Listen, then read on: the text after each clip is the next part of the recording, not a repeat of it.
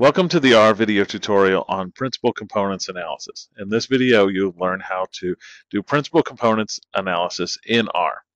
Okay, so let's get going. The first thing I'm going to do is set my working directory, and I'm doing this differently than I've done in other videos because you need to learn a little bit about working directories. Basically, what a working directory is, is where you want to save all of your work and where do you want R to save the image of all of your work. Uh, it also helps having to not write out long paths if you decide that you're going to do anything like read files in where you're specifying the path. So anyway, you can use the set WD to set whatever path you want to a working directory. Now it's not necessary, but it's something you should get familiar with.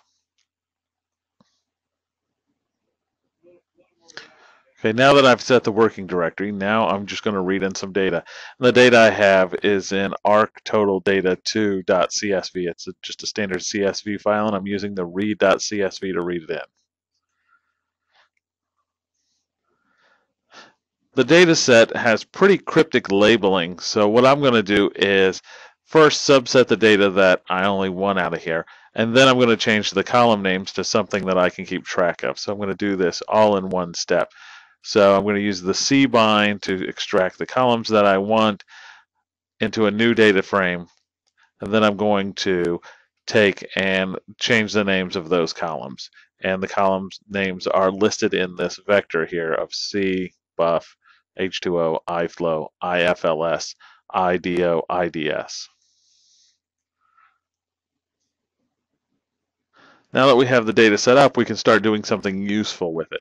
First thing I want to do is some pairwise scatter plots that you've seen in a previous video.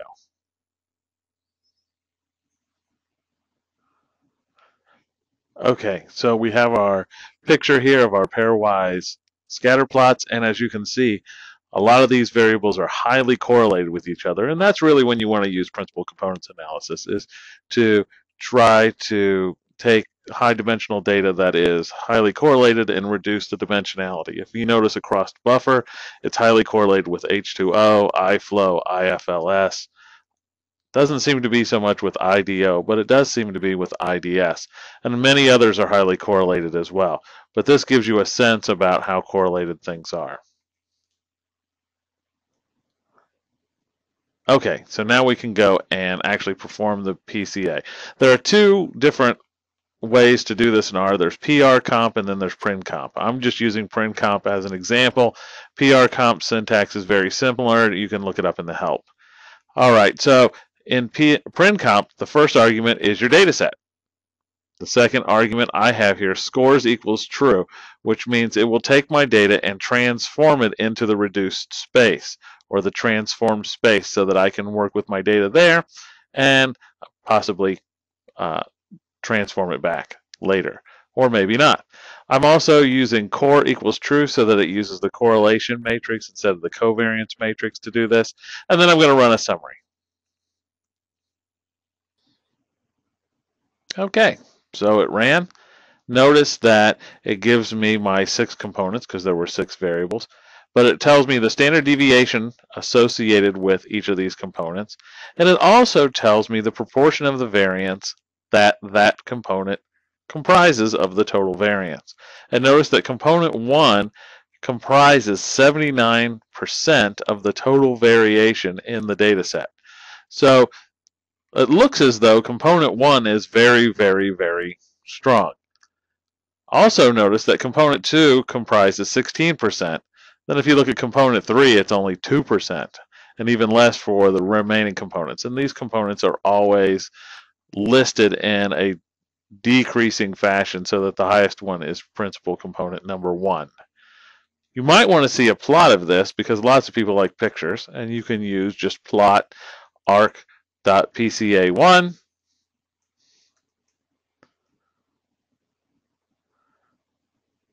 and this produces what is known as a scree plot.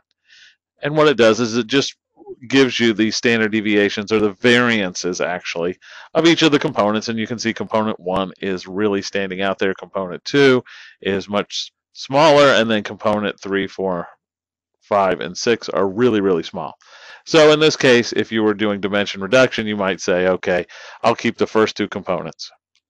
Everything else I don't need to worry about because it explains 95% of the variation.